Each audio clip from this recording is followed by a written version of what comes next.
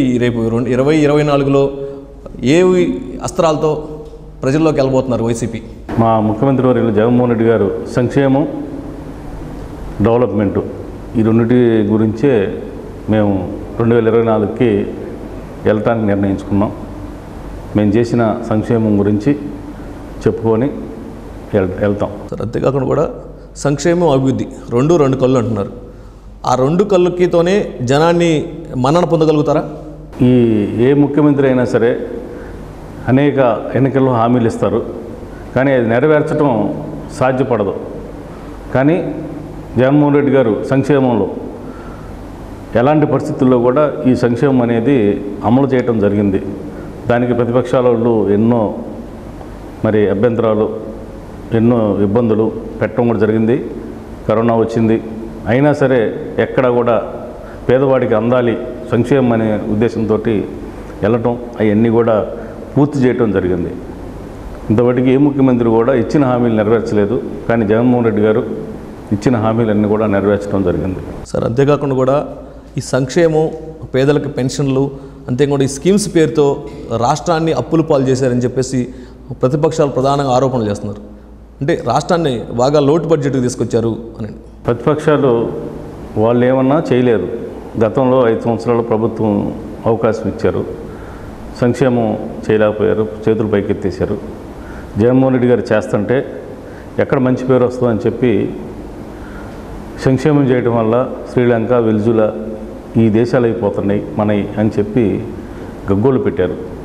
అదే ఇప్పుడు మళ్ళీ వాళ్ళు ఇస్తామంటున్నారు. మరి ఎంతబట్టికి ఎంత సబబు?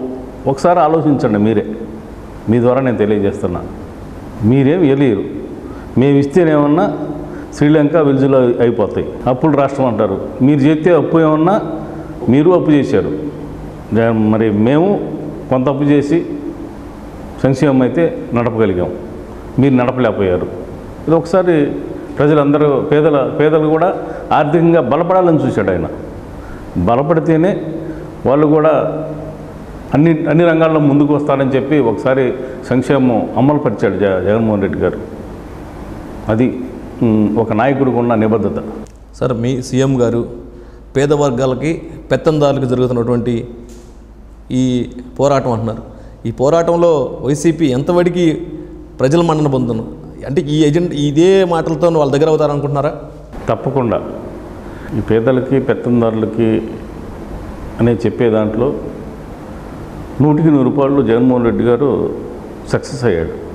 ఎందుకంటే సంక్షేమ కార్యక్రమాలు ఇస్తేనే పేదలకి ఆర్థికంగా బలపడటానికి ఒక అవకాశం కల్పించాడు. ఎస్సీలకు కానీ ఎస్టీలకు కానీ మైనార్టీలకు కానీ మరి మిగతా అగ్రవర్ణ కులాల్లో పేదలకు కానీ అనేక సంక్షేమ కా- కార్యక్రమాల్లో మరి అర్హులైన ప్రతి ఒక్కరికి వాళ్ళకి స్కీములు అందే విధంగా చూడటం జరిగింది. కులాలు మతాలు పార్టీలకు అతీతంగా చేశాడు. గత ప్రభుత్వంలాగా జన్మభూమి కమిటీలు పెట్టి గత ఎమ్మెల్యేలని దోసుకునే విధంగా చేయలే ఆయన. డైరెక్ట్గా అకౌంట్లోకి వేసి అక్కచెల్లెల అకౌంట్లోకి వేసి వాళ్ళని ఆర్థికంగా బలపరిచే విధంగా చేశాడు. రెండవది ఒక సామాన్యుడికి ఒక మధ్యతరగతి కుటుంబం నుంచి లేకపోతే అట్టడుగు వర్గాల నుంచి వచ్చిన కొంతమంది నాయకుల్ని ఒక ఎంపీగానో ఒక ఎమ్మెల్యేగానో డబ్బు ఉంటేనే సీట్లు ఇచ్చే పరిస్థితుల్లో ఒక సామాన్యుడికి టికెట్ ఇచ్చి ఒక సామాన్యుడికి కూడా రాజకీయంగా వెదిగే విధంగా చట్టసభల్లో ఒక హక్కు కల్పించి రిజర్వేషన్లు కల్పించి స్థానిక సంస్థల్లో కూడా ఫిఫ్టీ పర్సెంట్ రిజర్వేషన్ కల్పించి ఒక ఎంపీపీని ఒక సర్పంచ్ని ఒక జడ్పీటీసీని ఒక జడ్పీ చైర్మన్ని ఒక కార్పొరేటర్ని ఇట్లాగా మేయర్లని ఎంతమందిని మరి రిజర్వే రిజర్వేషన్ తీసుకొచ్చి ఎంతమందిని నాయకులను తయారు చేశాడో ఒకసారి ఆలోచించండి. అట్లాగే ఆయన ధైర్యానికి ఈ నర్సరాపేట పార్లమెంట్లో ఎప్పుడూ కూడా అగ్రవర్ణ కులాలకి ఒక ఎంపీ టికెట్ కానీ ఎమ్మెల్యే టికెట్ కానీ ఈ- ఈ మా నర్సరాపేట పార్లమెంట్లో ఇవ్వటం జరుగుతూ ఉంది. ఇక్కడ కూడా ఒక బీసీ అభ్యర్థిని ఎంపీగా పెట్టడం అంటే ఎంత ధైర్యం ఉండాలి? ఒకసారి ఆలోచన చేయండి.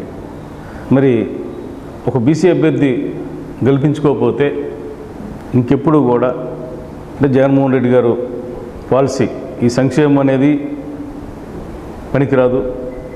ఒక బీసీ కులాలు కానీ ఎస్సీ కులాలు కానీ మైనార్టీ కులాలు కానీ ఎస్టీ కులాలు కానీ ఇక రాజకీయంగా వీళ్ళు ఎప్పుడు పనికిరారు అనేది ప్రూవ్ అవడానికి ఒక అవకాశంగా తీసుకోవడానికి అవకాశం ఉంది. ఇప్పుడు కనుక వీళ్ళు గెలవకపోతే ఆయన నమ్ముకున్న సంక్షేమం ఎస్సీలు బీసీలు మైనార్టీలకి సీట్లు ఇవ్వటం ఇవన్నీ కనుక ఇది కరెక్ట్ కాకపోతే వీళ్ళెవరు కూడా గెలవరు. నర్సరావుపేట పార్లమెంట్కి బీసీ అభ్యర్థి అనిల్ కుమార్ యాదవ్ ఫార్ములా మీకు వర్కౌట్ అవుతుంది అనుకుంటున్నారా?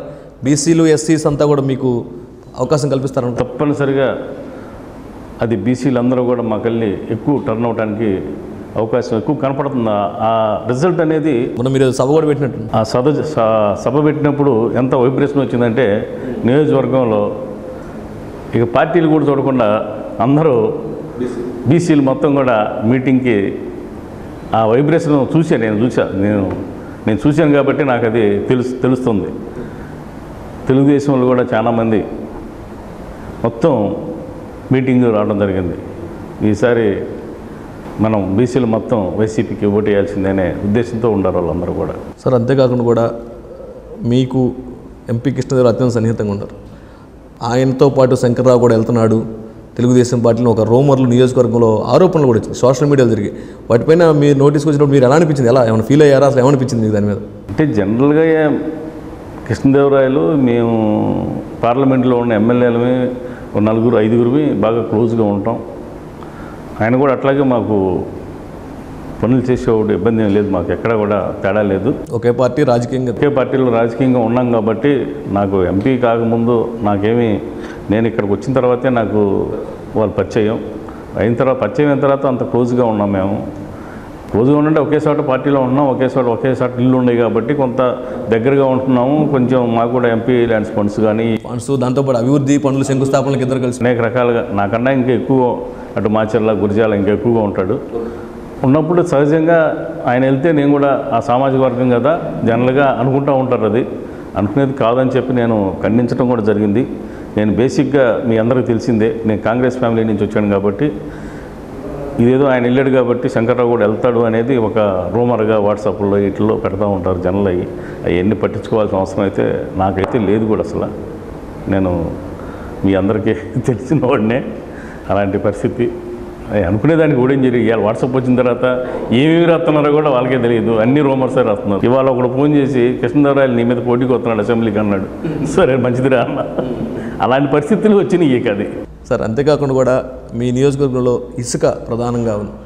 ఆ ఇసుక దోపిడీ గురవుతుంది అక్రమాలకు అవుతుంది అని చెప్పేసి ఎమ్మెల్యే దోచుకుంటున్నాడని చెప్పి మీ మీద ఒక ఆరోపణలు చేస్తున్నారు ప్రతిపక్షాలు. అందులో ముఖ్యంగా ఇక్కడ ఉన్న ఇక్కడికి వచ్చిన విదేయం కర్మ అప్పుడు చంద్రబాబు అప్పుడు కానీ లోకేష్ పాదయాత్ర అప్పుడు కానీ అన్నారు. మరి ఇదే చంద్రబాబుని నేను అడుగుతున్నా. గత నాలుగు సంవత్సరాల నుంచి ఇప్పుడు ఈ సంవత్సరం ఎలక్షన్లు వచ్చేలాగా మాట్లాడుతున్నారు కానీ చంద్రబాబు అనే అతను కానీ లోకేష్ అనే అతను కానీ ఇసుక మీద ఎక్కడ స్టేట్లో మాట్లాడారా? ఒకసారి నేను- మీరు తీసుకోండి. ఇసుక పాలసీ గురించి మీరు ఎందుకు మాట్లాడలేదు? చంద్రబాబు ఎందుకు మాట్లాడలేదు? లోకేష్ ఎందుకు మాట్లాడలేదు? ఈ ఎలక్షన్ల దగ్గరకు వచ్చిన తర్వాత ఎందుకు మాట్లాడుతున్నారు మీరు? ఇది వాస్తవం. ఇప్పుడు మాట్లాడినట్టు అప్పుడు ఎందుకు మాట్లాడలేదు మీరు? అంటే తప్పుడుగా ప్రచారం చేసి ఏదో రకంగా బురద జల్లుదాం